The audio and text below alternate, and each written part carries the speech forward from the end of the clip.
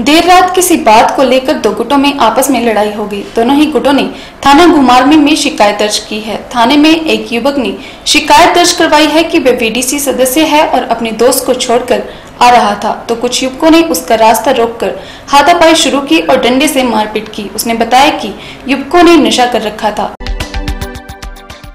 जिला बिलासपुर के गुमारबी में दो दिन पहले बीडीसी सदस्य के साथ रात के समय हुई मारपीट का वीडियो आजकल वायरल हो रहा है। देर रात हुई हाथापाई और डंडों से मारपीट की वारदात। सीसीटीवी कैमरे में कैद हुई है और इस मामले में पुलिस ने मामला दर्ज कर छानबीन शुरू कर दी है।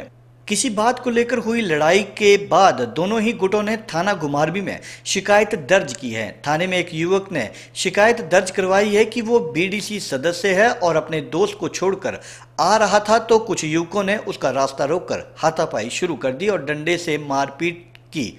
उसने बताया कि युवक नशे में थे। दूसरी तरफ़ दूसरे गुट ने भी बीडीसी सदस्य के खिलाफ मारपीट की शिकायत दर्ज करवाई है। पुलिस ने दोनों गुटों की तरफ़ से मामला दर्ज कर छानबीन शुरू कर दी है।